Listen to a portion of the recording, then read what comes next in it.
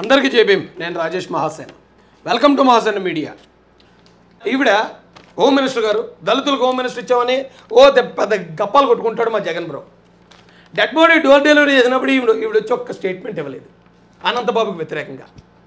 అంటే నిన్న తొండంగిలో కుర్రాన్ని చంపేసినప్పుడు కూడా కనీసం మేము న్యాయం చేస్తామని కనీసం వచ్చి ప్రెస్ మీట్ పెట్టలేదు.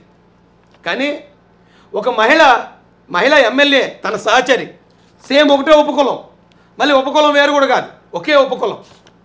ఆవిడ అంత నీచంగా మాట్లాడుతున్నా వాళ్ళ పిల్లల్ని కూడా వ్యభిచారులుగా చిత్రీకరిస్తున్నా వాళ్ళని అవమానించి వాళ్ళ కాళ్ళే గుండెపోటుతో చనిపోయేలా చేస్తున్నా కనీసం నోరు విప్పలేదు హోంమంత్రి వనిత గారు.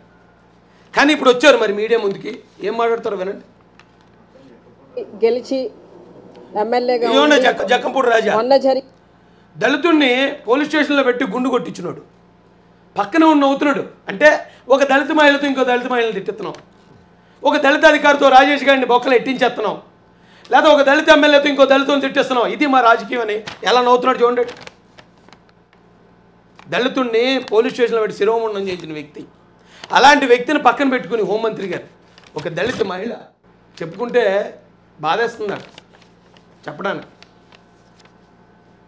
జరిగిన ఎమ్మెల్సీ ఎన్నికలు ఏదైతే ఎమ్మెల్యేలు ఓటు వేయాలో ఆ ఎన్నికల్లో క్రాస్ ఓట్ చేసిన ఎమ్మెల్యే శ్రీదేవి గారు. ఈ రోజున హైదరాబాద్లో ప్రెస్ మీట్ పెట్టడం జరిగింది. ఆవిడ ప్రెస్ మీట్ పెట్టడం ఇప్పుడు నేరం. మా హోంమంత్రి గారి. అంటే వైసీపీ దళితుల్ని ఎలా వాడుకుంటుందో చూడండి. ఏ స్థాయిలో దళితులను మ్యాల్పులేట్ చేస్తుందో చూడండి.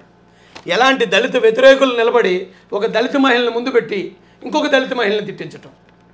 తప్పు కదండి ఇది. ఇదేం రాజకీయం అండి? దళితులకు ఇప్పుడన్నా కళ్ళు తెరద్దా?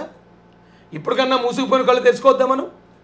మన నాయకులు మన కోసం పోరాడే నాయకులు కేసులు పెట్టి వేధించి చంపేస్తూ ఉంటే ఇప్పటికీ మనం మాట్లాడకుండా మనం మౌనంగానే ఉండి ఎలక్షన్ వచ్చాకే చూద్దామంటే ఈ లోపు పోరాడే వాళ్ళు ఉంటారా? ఎవడు పడతాడు సార్ ఇన్ని బాధలు? ఇన్ని అవమానాలు ఎవరు తట్టుకోగలుగుతారు? అంటే జరుగుతున్న అన్యాయాలు చూసి మనసు ఆగని వాళ్ళు అందరూ ఇంకా ప్రాణాలు తెగించి వచ్చి పనిచేస్తున్నాం అంతే. హోంమంత్రి గారు మా విషయాల్లో ఎప్పుడు ఏ రోజు స్పందించలేదు మా తల్లి. ఇప్పుడు వైసీపీకి వ్యతిరేకంగా ప్రెస్ మీట్ పెట్టిందట. అందుకని ఆవిడ ప్రెస్ ముందుకు వచ్చారట. అంటే ఆవిడ ఆంధ్ర రాష్ట్రంలో ఎమ్మెల్యేగా ఉండి ఆంధ్ర రాష్ట్రంలో ప్రెస్ మీట్ పెట్టడం మానేసి హైదరాబాద్ ప్రెస్ మీట్ పెడితే మీరు చంపేస్తారేమో అని భయం అమ్మా. మీ గవర్నమెంట్ ఎవరైనా వివేకానంద రెడ్డి గారిని చంపేసినట్టు లేకపోతే నిన్న అచ్చన్న గారిని చంపేసినట్టు లేకపోతే అంతకుముందు సుధాకర్ గారిని చంపేసినట్టు చంపేస్తారేమో అని భయం. గతంలో రఘురామరాజు గారిని కొట్టించినట్టు కొట్టించేస్తారేమో అని భయం. అందుకమ్మా ఆవిడ హైదరాబాద్లో పెడతా. అంతే తప్ప హైదరాబాద్లో వాతావరణం బాగుందని కాదు తల్లి. వెళ్ళి పెట్టవలసిన అవసరం ఏంటో మాకు అర్థం కాలేదు. మొదటిది. రెండవది హైదరాబాదులో ఒక డాక్టర్గా ప్రాక్టీస్ చేస్తున్న ఆవిడను మన ఆంధ్ర రాష్ట్రానికి తీసుకొచ్చి మరి అక్కడ ఎమ్మెల్యేగా చేసింది జగన్ అన్న అన్న విషయం ఎందుకు చేశారమ్మ ఊరికే? తాడికొండలో చాలామంది ఉంటారు కదా. తాడికొండ నియోజకవర్గంలో చాలామంది దళితులు ఉన్నారు కదా. వాళ్ళందరూ వదిలేసి ఆవిడని ఎందుకు తీసుకొచ్చాడు? డబ్బులు పెడుతుంది కాబట్టి. వాళ్ళిద్దరు భార్య భర్తలు ఇద్దరు డాక్టర్లు కాబట్టి అక్కడ రెండు హాస్పిటల్ ఉన్నాయి కాబట్టి వాళ్ళకి మంచి ప్రాక్టీస్ ఉంది కాబట్టి పార్టీ ఫండ్ ఇస్తుంది. అలాగే డబ్బులు ఖర్చు పెడుతుంది. అంతేగాని మీరు ఏదో మేలు చేసినట్టు మాడతారు తల్లి. విషయం ఆవిడ మర్చిపోయినట్టున్నారు.